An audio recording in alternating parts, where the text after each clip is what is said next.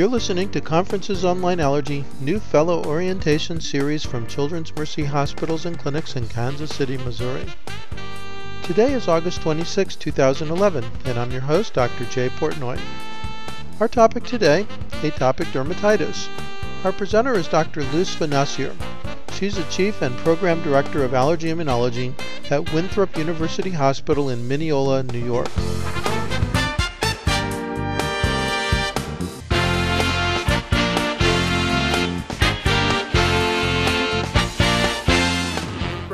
University Medical Center in Long Island, New York. Uh, you're right in the uh, in the eye of the hurricane is coming your way, isn't yes, it? Yes, we are getting ready.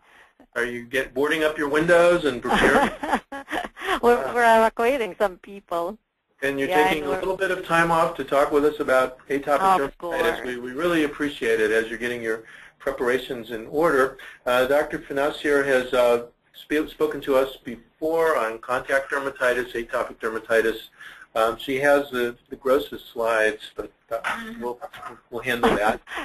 Okay, do I do, you, do I use your slides and then can I? can show uh, you. I have your slides, so I'll be able. Yeah. I'll go ahead and make uh, slides available, and uh, if you use your mouse, let's see. Yes. Uh, I can give you control of the keyboard and the mouse. And that way you can just move your mouse around and you can control the slides. So do I just advance it with this? Okay. You've got it. So I'm doing it, right? To, okay, yes. thank you. Welcome to Conferences Online Allergy, Dr. Uh. Thank you. It's great. This is a, like a very uh, interesting and uh, close to my heart topic. Uh, and I think because this is mostly for fellows preparation, I did a little bit of basics and more or less the nuts and bolts of what you uh, are going to see for difficult uh, atopic dermatitis patients. So we would like to identify, of course, get the differential diagnosis of atopic dermatitis, uh, discuss the workup, understand the treatment, and discuss some of the new or controversial treatments uh, for atopic dermatitis. I get a lot of questions on probiotics and vitamin D, and I'd like to just give you a little bit of a summary of what's out there in literature. For those of you taking the boards, I think um, uh, the important uh, questions are what do you find in the acute uh, atopic dermatitis skin and what do you find in the chronic atopic dermatitis skin. So uh, immunologic immune responses, uh, we know that, uh, oops, all right, we're good. Um, but you have your Th2 predominant responses in the acute lesions, and uh, you would have your uh, Langerhans cells, uh, which hyperstimulate your T cell, and you would have dysregulation of your uh, phosphodiesterase and excessive T cell activation to antigens, which are food and environmentals. And of course, you have your IgE mechanisms involved in the acute responses. Once you go into the chronic responses, you see uh, Th1 responses here, such as interferon, but you also have non-immunologic mechanisms, uh, which uh, is getting more prominence now, including the itch-scratch cycle. And you have irritants such as solvents, uh, wool, and uh, perspiration. I think it's all right. So um, more and more we realize that uh, a defect in skin barrier and atopic dermatitis uh, is uh, um, influencing the severity of the disease. And the loss of function or null mutation in gene encoding the filaggrin is strongly associated with the development of asthma in patients with atopic dermatitis.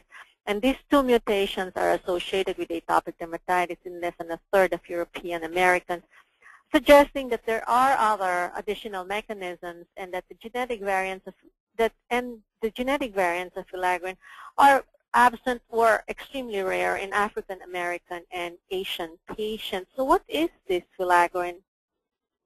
So filaggrin is filament aggregating protein. It binds to and is responsible for keratin aggregation. You see here, the yellow ones are the filaggrin, and uh, the the younger cells, the cells in the basal areas of the epidermis, uh, have this filaggrin that's uh, shooting up here. Now, uh, what does filaggrin do? It will induce the cytoskeleton to collapse, and it will then form a very flat cornified layer. So that's your corneocytes as you go up into the epidermis. And you will see here that the corneocytes will then be heavily cross-linked and you will see the cornified cell envelope. This is very critical for an effective skin barrier. This is de de decreases the water loss of the skin and it decreases the entry of irritants in the area as well. So as you see, you have your control animals, very nice, regular scales, very well organized, and mutants with filaggrin uh, mutation have these very disorganized, discolomating scales, and on uh, staining, the normal skin with the normal skin barrier have filaggrin granules uh, that prevent all of this disorganization and you will see an ichthyosis, vulgaris, or atopic dermatitis skin, which does not have the filaggrin granules. So the concepts are evolving that the pathogenesis of uh, atopic dermatitis and eczemas are not only immunologic but also of skin barrier dysfunction. And this skin barrier dysfunction actually enhances allergen sensitization and leads to systemic allergic responses. It decreases IgE and even airway hypersensitivity. So we're switching from the immunologic to epidermal barrier mechanism that underlie atopic dermatitis and most likely it's a combination of these two. But what's important is that we think that it may predispose to uh, the development of the atopic march. So you see this patient come to your office. What do our fellows do when they see these patients uh, walk in? They pull out this sheet which you can um, uh, reproduce in your own offices of uh, what's the workup for intractable atopic dermatitis. We look at the general principles. Are the patients doing this? You have general skin care. Are the patients bathing? Are they using moisturizers? Are they compliant with your advice?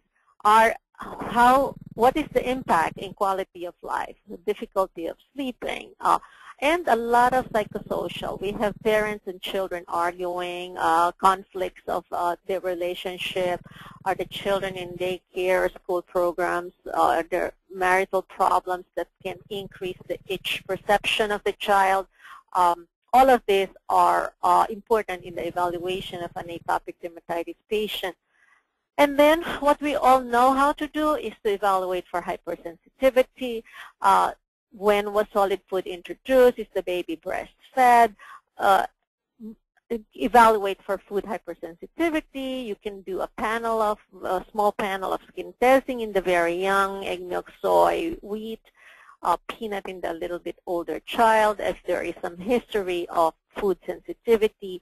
Aero allergens, carpeting, beddings, beds, of course, dust mite is very important. And contact allergens, don't forget that contact allergy is not infrequent, even though it's uh, as important uh, in atopic dermatitis patients. Uh, the medications that you're putting on, like the steroids and moisturizers, can actually be sensitizers.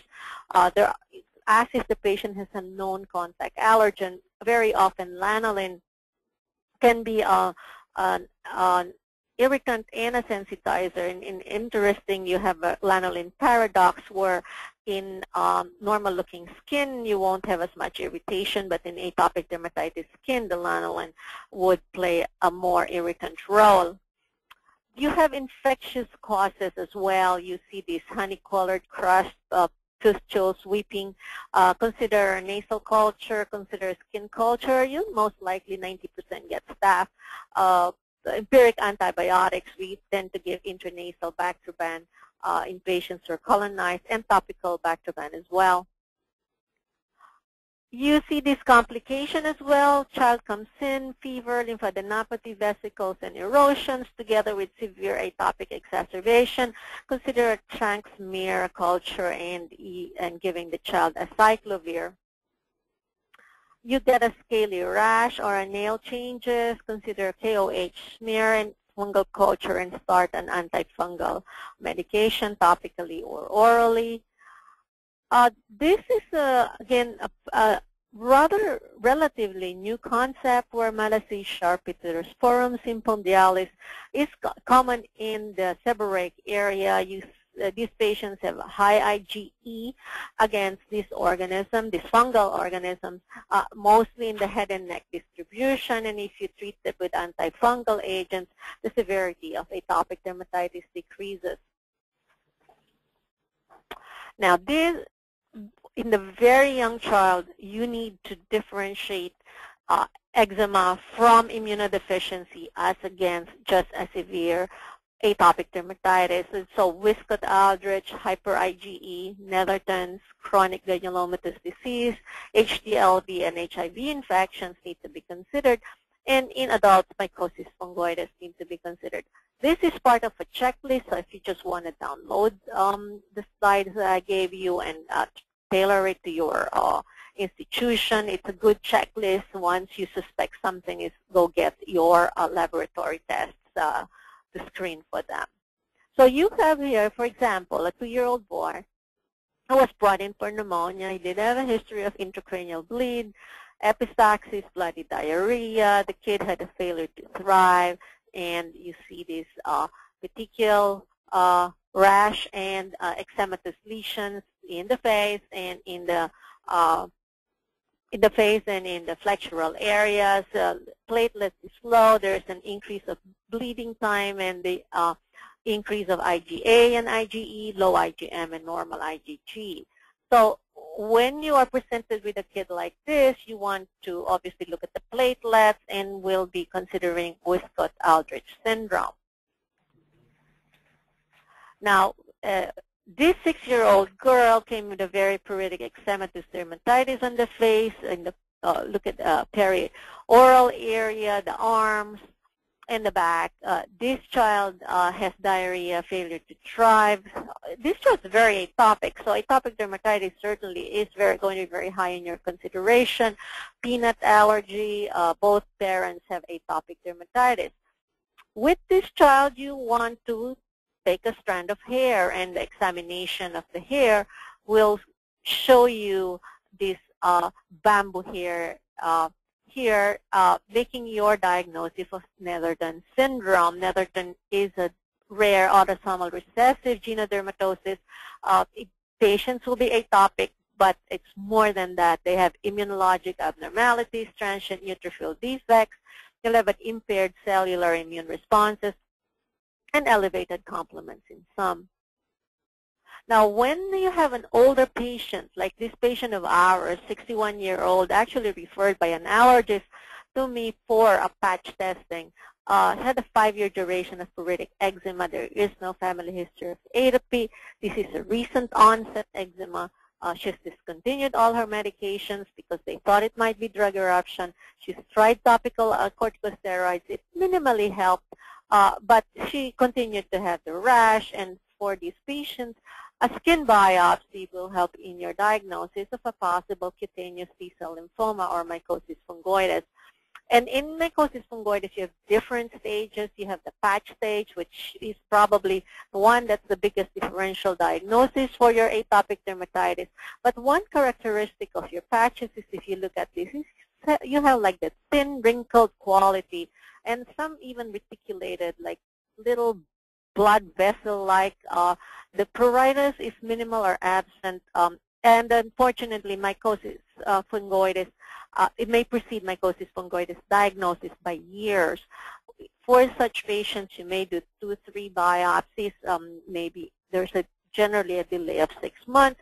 This patient had received about at least 10 biopsies with a gene rearrangement that was initially negative, this patient has gone to Cornell, to NYU, uh, to four, five different institutions, and it was just a matter of time that uh, the mycosis fungoides by histology had appeared.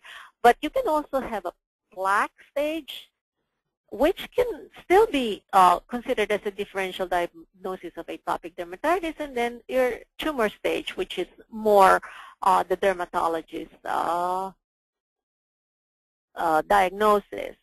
So when you have and you have a major diagnosis that it is atopic dermatitis, you've ruled out immune deficiencies uh, and other causes, what are the principles of therapy for your patient? Um, general supportive care is important. You want to get the disease under control, and you want to keep it under control. So how, what are the supportive therapy? Supportive therapy is skin hydration and barrier therapy, even with a lot of medications. This is still the most important uh, uh, uh, concept you have to tell your patients or their uh, caregivers is that regardless of the amount of topical corticosteroids that you're giving in, skin hydration, barrier therapy, emollients, baths, sweat wraps, avoiding irritants, more of skin care is the most important. Then you get, get your disease under control by giving them anti-inflammatory medications, again, depending on the strength of the um, uh, corticosteroids, uh, on the disease severity, and stronger steroids for shorter bursts. Keeping under control steroid-sparing agents, including your immunomodulators. Uh, these um, medications are pretty expensive uh, immunodevices. I call them glorified uh, moisturizers. And then uh, more in Europe, but we are definitely using a lot of proactive treatment now, and I will discuss this later on. So let's go with the uh, skin barrier. What are the uh, what's important with skin barriers? Emollients improve skin barrier function. It reduces susceptibility to irritants, and adding emollient strengthens by delaying intercellular filaggrin uncoiling. So it does have some uh, chemical effect. I think what's important to also realize that although topical corticosteroids help, they can inhibit epidermal fatty acid synthesis and disrupt barrier function. And therefore, although they work, you must have a regular use of appropriate emollients and try to decrease as much as possible the use of topical corticosteroids. What are the ingredients, ingredients contributing to effective moisturizers? Glycerol is a humectant. It attracts and holds water in the skin. Now, your petrolatum is an occlusive. It will retard evaporation but it does not supply the water, meaning you have to make sure that it is applied on wet skin because it's not very useful if you applied it on, on dry skin. And then you have your lanolins, which are emollients, which will lubricate your stratum corneum. The effectiveness of your basic therapy is directly linked to the patient adherence, and therefore do not disregard the fact that your uh, adolescent, teenager, uh, uh, male patient will not apply a glycerin or a Vaseline before going to school because it's shiny and it's very unattractive. You have to uh, have a cosmetic acceptance of the moisturizer. Hmm. What about baths? Baths, uh, we I recommend two types of baths. Once a week, I have at least a soaking bath for 20 minutes with or without oatmeal or baking, uh, baking soda. Have the patient quickly clean with uh, mild wash or the rest of the week, six days in a week. It's a quick five-minute bath. Drip dry, apply occlusive emollient immediately. In both types of baths, drip dry, minimal drying, and within five minutes, the emollients have to be applied. What soaps can you recommend? You can use, uh, I tend to recommend very mild soaps and cleansers, Vaniderm, Dove, Basis, Neutrogena, Aveeno, Purpose, Cetaphil. They're pretty good soaps. There are antibacterial soaps such as chlorhexidine with chlorhexidine and triclosan. Remember, you cannot really use it for long periods of time. Uh, there is some toxicity uh, in the use of these uh, medications, and there are probably a few indications for it, uh, maybe for a short-term uh, period of time. For the detergents to wash your clothes, we would recommend liquid rather than powder, again, because the liquid leaves less, has less chances of leaving a residue uh, that might irritate the skin, and always add a second rinse cycle. There is to date only one really double-blind placebo-controlled challenge on the use of bleach baths, and this is um, uh, 31 atopic dermatitis patients. Uh, they initially eliminated uh, Staph aureus by giving the patient cephalexin for 14 days. Then one group was given an intranasal mupiromycin five days a month and uh, your bleach bath or sodium hypochlorite twice a week for three months.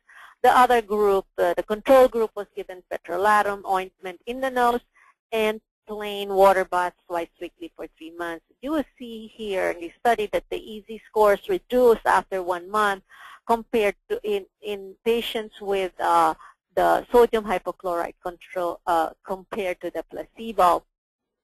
However, in this study, only the body parts that are submerged during the bathing with uh, sodium hypochlorite actually improved and the head and neck area is not. So they're kind of looking at this study again using wet cloths also on the uh, face and on the forehead while the body is submerged.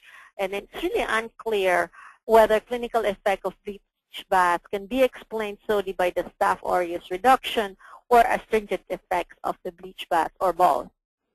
Dr. Uh, does swimming help if they go to the swimming pool on a regular basis during the summer? The swimming is enough to hydrate, but remember you have very high chlorine levels in the uh, swimming pool, so you will have to, uh, that is actually an equivalent of, of um, uh, bleach bath too, but you need to wash it off after very quickly, uh, wash completely with your mild, mild soap. Because it'll also, be irritant. It would be I'm an sorry? irritant otherwise, right? It, there would be an irritant, yes. Okay. What about wet wraps? Again, uh, what is it? Wet wraps are reserved for acute intervention. And in a child like this, you probably have to admit the patient.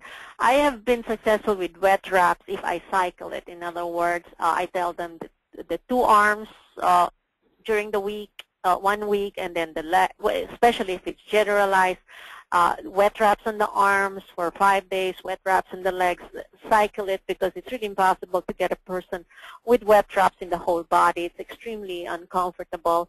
Um, what it is is you apply the, either an emollient or steroids in two layers of rolled gauze or, or uh, tube socks. The first one is wet and the second one is dry. There are benefits where you have a barrier to scratching and it increases steroid penetration if you do apply steroids. It does allow rapid healing of excoriated lesions and it decreases Staph aureus colonization. A big, big drawback is it's very um, uh, difficult to do. It's very uncomfortable. So as I said, either cycle it or maybe just a five-day period during um, as an acute intervention, you might be able to convince your patients to do it. Now, this is an interesting study looking at what about uh, using the topical corticosteroids as against steroids alone without a wet wrap, and you will see that there is a significant improvement in patients who had used uh, topical corticosteroids with wet wrap, so the steroids and then your uh, wet rolled gauze compared to topical corticosteroids alone. Liz, how long do you keep the wet wraps on for? Overnight. Hmm. So before they go to bed, they put it on, they take it off the next morning. Hmm. Uh, topical uh, antibiotic is used for localized impetiginized lesion, and systemic antibiotics are really more practical for extensive skin uh, infections.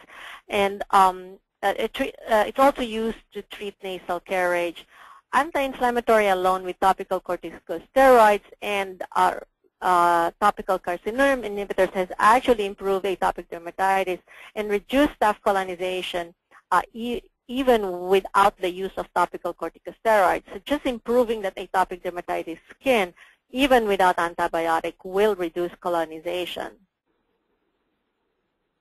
What antibiotics can you use? Uh, avert infections, uh, need antibiotics like this child or when you see something like that, when you see super infections, uh, and you can use antibiotics such as uh, cefadroxil, cephalexin, uh, tetracycline for the older child, and uh, trimethoprim, sulfamethoxazole. There's been uh, use of probably like your your Levaquin uh, for like the older uh, patients. I like this again also as an acute measure. It's um, for oozing and weeping lesions in localized areas. You can prescribe Domeboro astringent.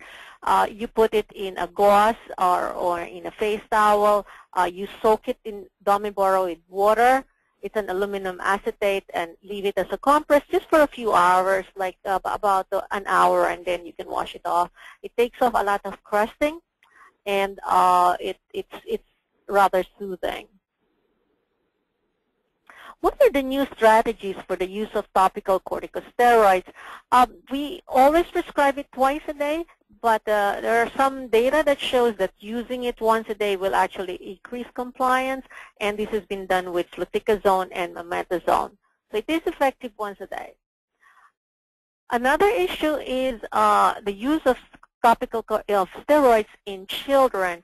It has been shown that up to a period of one month in this study, um, in children over three months, uh, the use of regular uh, topical corticosteroids daily uh, it should be shown to be safe and effective in these children. So that's reassuring.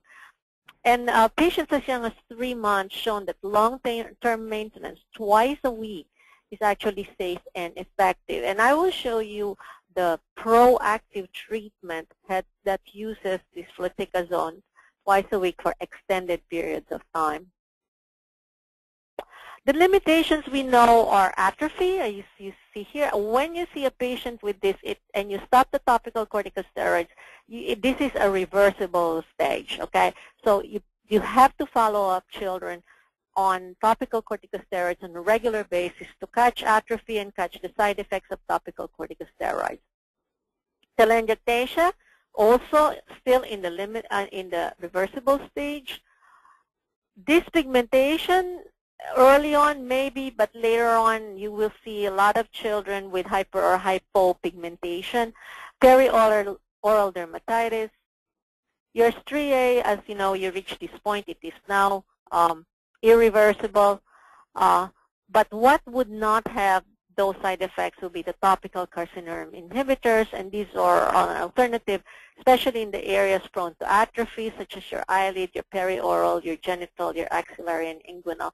I think it is excellent uh, uh, medication for an eyelid dermatitis. We use it even for contact dermatitis.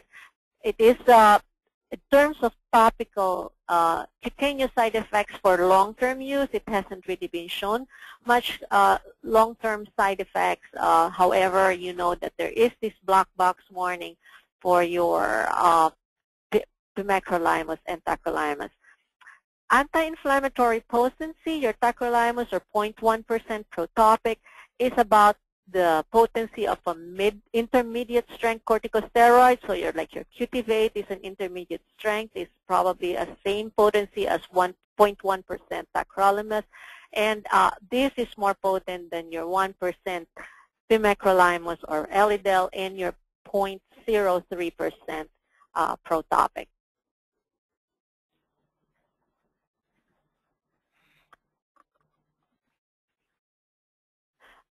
Again, the, the uh, calcineurin inhibitors has also been used for proactive treatment, and I will show you the data in the uh, next few slides. So when is it time for systemic therapies? When you see a moderate to severe atopic dermatitis, when you've tried all your topical agents and you still have not uh, been able to control the child's uh, uh, eczema and you have recurrent complications such as infection, think about um, steroids. Well, actually, you don't think about steroids. The patient's usually sent to you already by the pediatricians who had like three courses of oral corticosteroids, and as we know, it's always associated with a dramatic rebound. So whenever they take them off steroids, they're back to uh, even worse. We know it's effective, but unfortunately, because it's a rebound, you should not really be using it. Uh, I would say revert, uh, reserve it for crisis management if you absolutely have to, but I think it's more of how are you going to taper this child who was sent to you by the pediatrician who's already on oral corticosteroids, uh, and um, how are you going to intensify the skin care so that they now put them on a regimen for long-term maintenance. Cyclosporin uh, has very uh, rapid response, two to three weeks. Again, interesting uh, is that the side effects of cyclosporin seem to be less in children than in adults, so that we're more afraid to use them in children, but the children actually tolerate uh, cyclosporin better than the adults. It has excellent or uh, good clearance. Uh, however, it's very limited duration. I tend to leave them for about six months to a year, but more than that, I get nervous. I need to switch them to something else, and that's usually either a CellCept or or make sure that I've intensified the topical treatment. Uh, you need to monitor your liver function, renal toxicity, blood pressure. There is a rebound in 50% and about 10% with sustained remission over six months. Hopefully by then you have educated your patient on how to uh, intensify cutaneous care. Um, in terms of, as I said, uh, F, uh, safety, a one-year study in children showed uh, no significant difference between intermittent or continu continuous treatment in terms of efficacy or safety. So if you stop it, there's a rebound. There, uh, you can go back to cyclosporin. I gave 3 to 5 milligram per kilogram for six weeks, and then I tried to taper, as I said, about six months, and you add other therapies. This is a cyclosporin checklist that we use in the office. I mean, feel free to uh, use that as well. That's the, how we monitor our patients. Uh, mycophenolate uh, mofetil, which is CellCept, uh, it's a good four to six uh, week response and uh, less uh, side effects than uh, cyclosporin. However, it's also less effectivity. However, better side effect profile. And there, I think there's a study that showed uh, shifting, initially putting the patient on cyclosporin, get them under control, and switching them over to CellCept for a longer period of time. I told you about proactive treatment that uh, most of our patients are, are getting. Uh, this is a study showing 376 moderate to severe atopic dermatitis patients. They were initially stabilized with fluticasone cream or ointment, and they were maintained uh, uh for two successive evenings weekly of your uh, topical corticosteroids. They used a cream or an ointment, and those who were put on the cream is 5.8 times less likely to have a flare and those on an ointment is 1.9% less likely to have a flare. And you, uh, those of you who are uh, awake will realize why was the ointment less effective than the cream and the authors uh, when you expect that the ointment should be more effective than the cream and the, uh, the author's explanation is most likely a compliance issue, uh, less compliant with the ointment because this uh, because of the cosmetic effect. Can you real quickly tell us the difference between an ointment and a cream? The difference between an ointment and a cream is that the ointment is oil-based and therefore there's really minimal water and there's minimal preservatives also in the ointment uh, because it's already thick. The cream is water with oil and therefore uh, it would uh, apply very much easier on the skin and would look much better. So there's more water in cream than in ointment. And in cream, the thing is they have to have more uh, uh, preservatives in a cream and uh, then the uh, to keep uh, and some people have to put antibiotics in there or antifungals in the cream for a longer shelf life. Ointments also, because they're ointment based, tend to be an equivalent cream and an equivalent ointment in terms of percentage, the ointment is actually more potent, ends up to be more potent. All right, this is now your patients on tacrolimus who had um, a proactive treatment, meaning that they had uh, application of tacrolimus on previously involved. It looks like a normal skin now, but it previously involved skin that tends to flare. They would apply it twice a week. And you will see that the flare-free days is significantly less in patients who applied tacrolimus rather than the vehicle. And the, num the number of days of disease relapse is uh, much less in patients with uh, proactive treatment rather than those who just had a vehicle.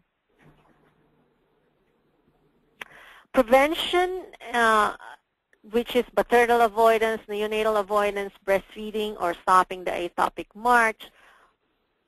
The in 2008, there's um, a publication on the effects of early nutritional intervention and development of atopic disease. This was endorsed by the American Academy of Pediatrics and replaces the 2000 policy statement from the AAP. And I will just summarize it for you. Uh, you have your reference down here. So what about uh, maternal restrictions in pregnancy or lactation? There is no major role for maternal dietary uh, restrictions during pregnancy or lactation. Definitely a role in breastfeeding for at least four months. It prevents or delays atopic dermatitis, cow milk allergy, and wheezing in early childhood. There is modest evidence that the onset of atopic disease in infants at high risk of atopy and not exclusively breastfed could be delayed or prevented by the use of hydrolyzed formulas. And there's little evidence that delaying introduction of complementary foods between four to six months actually prevents atopic disease. So in summary, breastfeed for at least four months, and then you can uh, introduce your complementary foods. If you cannot breastfeed exclusively, then, then add a highly hydrolyzed formula. And uh, pregnant women need not restrict their diet. It doesn't uh, affect the development of atopic disease in the offspring. A few things on probiotics. Again, uh, unfortunately for all of these uh, subsequent slides, uh, there's really not much consensus, and that's why I'm showing you the pros. Those are positive studies and negative studies. For probiotics, there's a meta-analysis with a moderate, moderate, modest role in moderate to severe atopic dermatitis. Um, there is more convincing evidence that it's better as a prevention in that if a child already has atopic dermatitis, giving probiotics may not be as effective as when you give it before uh, the, the disease. And uh, it seemed to be different with different formulas. It did not reduce the incidence nor out, the incidence of nor alter the severity of atopic dermatitis. And the Cochrane database uh, systemic review concluded that probiotics are not effective in treatment of eczema in children. So there may be some role in prevention, but there's really little um, role in terms of treatment. On the other hand, it carries a very small risk of adverse events, and it's uh, a lot of uh, moms would like to give it to their children. Uh, there, there are very few side effects. Okay, vitamin D and atopic dermatitis um, again, we know that vitamin D, 48% of patients with asthma, atopic dermatitis, and or food allergy had insufficient or low levels of serum 25-hydroxy vitamin D. And so does vitamin D have a role in atopic dermatitis? Again, you have some positives, some negatives. Uh, there is lower frequency of atopic disease in children of mothers with higher intake of vitamin D. There's a atopic manifestations were more prevalent in the group with higher intake of D3, and there's significant improvement in baseline score in a study by Sidbury. What, does, what is the official um, uh, st uh, standing, though, is that there is a role of vitamin D in diseases other than uh, bone, um, uh, the, I think it's called Institute of Medicine, has issued a statement saying that there is no role of vitamin D at this point beyond um, for, for bone. So larger trials are really ongoing. Immunotherapy is very interesting that the latest parameters on immunotherapy had the summary statement and therefore I felt obligated to discuss it is that there is some data now indicating that immunotherapy can be effective for atopic dermatitis when the condition is associated with aeroallergen sensitivity. So, and they quoted these four uh, studies that showed that um, significant improvement in symptoms in patients who receive uh, subcutaneous immunotherapy. It looks uh, like it's a dose-dependent effect, specific like for dust mites. There is um, serologic and immunologic changes consistent with tolerance and it seems to be better used in mild to moderate rather than severe disease. So that's uh, that's new. Um, I mean, fairly new recommendations from the parameters. That's just basically with dust mite allergy, isn't it? The, the, yes, the, it, looks it looks like the uh, more for dust mite more effective for dust mite allergy. But most of the um, uh, atopic dermatitis children are really more of dust mite allergy. However, if you have exposed area, there's another subgroup where you have uh, children who whose atopic dermatitis who gets worse. For example, the seasonally, spring and fall, and occur in the exposed areas of the body, in the face, in the arms during this period of time, and are positive to uh, your environmental, your pollens they may benefit from allergy immunotherapy. They have this specific distribution of and uh, history of exacerbation during uh, seasonally. Yeah, I was on the committee when they discussed that, and you know, in the past, the, the bottom line was that it was it would actually make eczema worse. So there was this fear that immunotherapy would flare the eczema, and so this is quite a change that, that it might actually be helpful. It's not something that I would necessarily treat if they had only eczema, but usually you're treating hay fever and asthma too, and eczema certainly wouldn't be a contraindication. It might actually be benefited from the immunotherapy. Yeah. So I, as I said, uh, it is new and uh, that it hmm? became part of the parameters is uh, really uh, something new. Uh, what about omalizumab? Uh, we do see some studies where, uh, but I think there's more conflicting studies for omalizumab in atopic dermatitis because the drawback is the fact that your atopic dermatitis children tend to have uh, IgE that are extremely high and not enough omalizumab. You cannot give enough an omalizumab to decrease 3,000 to 7,000 uh, international units or KU of uh, uh IgE. Uh, so um, one study shows there's a clinical benefit. However, as a monotherapy, uh, it doesn't seem to work. And another study showed that this benefit when added to usual therapy. Uh, looking at specific markers, um, none were found to identify any potential responders, and currently it's there. Obviously, you know there's no indication for omalizumab in atopic dermatitis, but maybe for your asthmatics who have atopic dermatitis as well, uh, with uh, IgE within a reasonable range, uh, might benefit, the atopic dermatitis might benefit.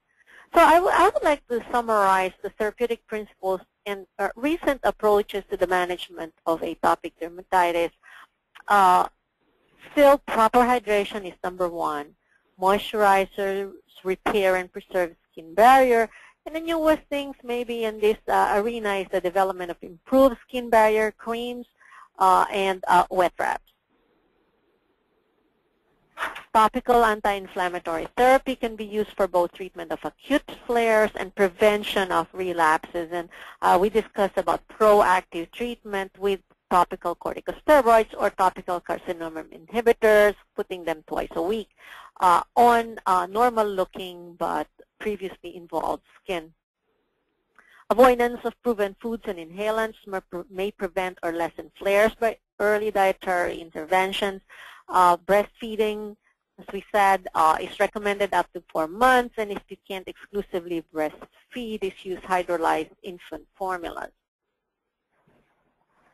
Decrease of microbial colonization can improve atopic dermatitis, and that's where you have bleach, bleach baths, antiseptics, Unna boots, and silver impregnated clothing. I didn't discuss this uh, simply because there tend to be one is the silver silver impregnated is a uh, little controversial, and the Unna boots I tried to prescribe it, but it's extremely extremely expensive, and really wet wraps are probably uh, uh, they are they are equivalent to wet wraps.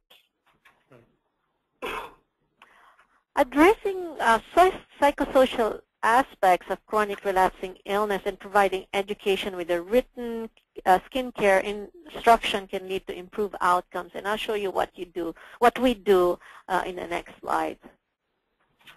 And what are the ongoing future studies that I discussed? You have your probiotics, you have your oral vitamin D, omalizumab, and specific immunotherapy. So your treatment strategies for atopic dermatitis when you have the mild uh, hydration, decrease uh, itching, evaluate for food allergens, irritants, microorganisms, topical corticosteroids and calcineurin inhibitors. You move on to mid-potent, super-potent steroids, wet wrap, star preparations, ultraviolet light. Uh, then we go on to, as a rescue, oral corticosteroids, cyclosporin, PUVA, and hospitalization. This is what I'm saying is our action plan, which we give our patients. We circle this for them, and uh, they have, mom has something uh, to work by every single day. Um, uh, it, it, has helped uh, with compliance. It has helped us uh, change it every time they come if we need to change it, and uh, it's very, very specific. So I think that ends my prepper, uh, my uh, presentation. I uh, hope all the kids that come looking like this, we can make them look like this. Yeah, that would be nice, wouldn't it? Yeah, wouldn't it be nice? That was great. Thank you so much Thank for that, you. uh, Vanessa. Um, are there any comments or questions from the from the audience? I had a quick question. I, go, go ahead. Hi, Dr. Fonacier. This is uh, Mark Sirota. second year fellow here. I was wondering if you had any experience uh, using zinc replacement. I've had some experience with patients where we checked their zinc level and it was low, and I replaced their zinc, and, and they had a significant. I'm, I'm sorry. Please, please, you're breaking up. Say it again, oh. please. I was just asking about um, checking a zinc level and replacing replacing their zinc if it's deficient. I've had some experience doing that and having a really good response in their atopic dermatitis. I was wondering if you uh, did that as well, or if you had any thoughts about that. Yeah, zinc, the, the, I'm repeating the question only because I have also fellows here who are joined us. Yes, zinc deficiency, actually that question came up last week with one of our, our children. Uh, zinc deficiency actually is more of the zinc deficiency giving, giving a rash that looks like atopic dermatitis. Uh, so uh, uh, yes, replacing zinc in a patient with zinc deficiency will decrease the eczema. But it's more of not the zinc deficiency causing atopic dermatitis, but the zinc deficiency causing an eczema that looks like contact dermatitis. Hmm. Okay. And I'm Kara Federley, one of the fellows. I had a quick question about um, proactive therapy. Do you do that for a specified amount of time, or is it indefinitely? And what were the studies showing on that? So the question is, how long do you keep uh, the proactive therapy? Uh, in Europe, uh, the proactive therapy is actually used indefinitely, and indefinitely I mean for as long as the patient's willing to do it. It's not, you know, it's uh, you would you know that atopic dermatitis is uh, uh, flares, uh, remissions and flares. most patients would would go on the pro, pro proactive therapy, and when they get very good remission, would kind of slack. Uh, and then they can go back on the proactive therapy again. But the studies, for example, in Europe, uh, uh, show that it's like over a year of proactive therapy. Uh, side effects are minimal. Uh, still, I'm, I'm, I am still a little concerned about putting it for very long, so I still cycle my proactive therapy. In other words, uh, I, I would put them on topical corticosteroids, for example, for six months or for four months using the proactive, and then I would use the topical calcineurin for proactive because I still feel that I will be able to decrease the side effect of topical corticosteroids if I cycle it. So I use both calcineurin inhibitor and topical corticosteroids at different times uh, to cycle the patient. Luz, this is Paul Dowling. Um, I have a question about the calcineurin inhibitors. And your, your action plan for flare-ups of the eczema, you had both uh, the steroids and the calcineurin inhibitors listed. Do you usually combine those as like a step up, or how do you decide, because uh, of the black box warning, we kind of stopped using so much of those. Um, how do you decide to use the calcineurin inhibitors or add those on to the steroids? Okay, so the question is, uh, do you use both calcineurin inhibitors and topical corticosteroids? And uh, uh, how do you step up? Was that your other question, Paul? Yes. So I tend to, depends on the location of the uh, rash in the face, I tend to use topical calcineurin inhibitors more again because of side effects of, of it. In the rest of the body, I tend to use uh, topical corticosteroids acutely because they're still more potent, and then I would go to topical calcineurin inhibitors, uh, especially in the uh, flexural areas where there's at, there tend to be more atrophy. Uh, I give patients like two or even three types of topical corticosteroids. So they have this very mild, I tell them over-the-counter or aclovate, and they have this mid-potency, which is Cutivate, and then this, they have this very high potency, which is the Diprolene. And so uh, the, the patients tend to be able to know which of the topical corticosteroids they would use for what type of reaction. Well, um, so, you know, you mentioned there was this black box warning, and, and there was a time when patients were being treated with the calcineurin inhibitors, and many of them doing quite well. Suddenly there was this black box warning. Everyone took their patients off, and then they flared up again. Should we be concerned about that? And what, what was what is the story with that? I think the the black box warning is, you know, uh, we actually had the uh, joint task force statement from the academy and the college on the black box warning that uh, uh, that there is a potential for increase of lymphoma. The black box warning is still there.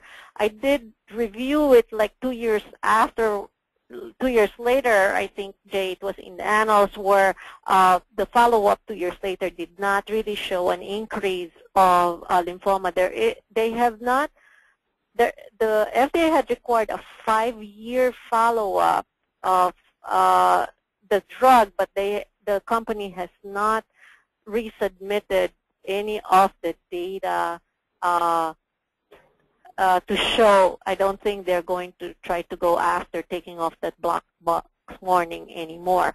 Am I afraid to use it because of the black box warning? No, I'm not. Uh, not at all. But the, the thing is I am obligated to tell the patients that there is a black box warning, and so now they're, uh, they're more afraid rather than than me. Uh, again, as I said, I, I, would explain to them that topical corticosteroids actually also has a potential of, of, of malignancy, and uh, that was in the statement in 2005 Joint Task Force that there is also a, a higher incidence than than control, and so uh, you you have choose between topical corticosteroids and calcineurin inhibitor. And I think cycling them like maybe a month on a month or two months on topical corticosteroids and then uh, uh, 0.03% of tacrolimus might like uh, be a better option, both therapeutically and less side effects. So going back and forth might help. And I guess my final question is about itching.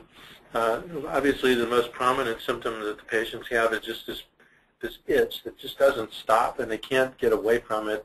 We give antihistamines and sometimes they help, but then we have to push it so high that, uh, that, they end up being sedated from it. Do you have any, any tips about what, how we can help them manage their itching? Yeah, so the question is really the itching associated with uh, atopic dermatitis, which can really be very severe. Uh, uh, unfortunately, Jay, uh, the local oral antihistamines really will work only to the point of sedation. Mm-hmm. Uh, so it's decrease the itching is uh, facilitated by the skin care. In other words, if you put your topical corticosteroids, the itching actually goes down. Uh, the the cyclosporin, the patients on cyclosporin will tell you right away within the first like week that they're taking the cyclosporin that their itching is already markedly improved. Uh, so uh, it's something internal. I mean, I don't think it's something you can really be able to block with just the antihistamines. You need to do your topical corticosteroids and all your skin care and then your uh, systemic therapies to decrease that itch. Well, that's, that's fantastic. Thank you so much for this presentation. Thank you. Dr. Uh, Luz Fonacier uh, is a professor of medicine uh, at uh, uh, Winthrop uh, University in Medical Center in Long Island, New York. good luck with the hurricane. I hope that you all survive and have no no harm. Stay safe, everyone. that's all for today. join us on Monday, August 29th, when we will be discussing the National Heart, Lung, and Blood Institute guidelines for asthma with Mike Boggs. And at 11 o'clock, Brock Williams will talk with us about in vitro IgE tests. In the meantime, this has been Conferences Online Allergy from Children's Mercy Hospitals and Clinics in the city. Have a great weekend, everyone, and we'll see you next time. Thank you.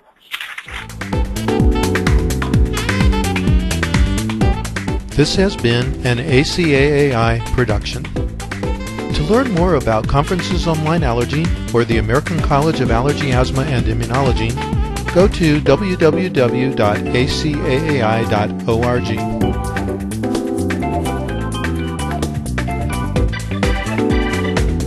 See you next time.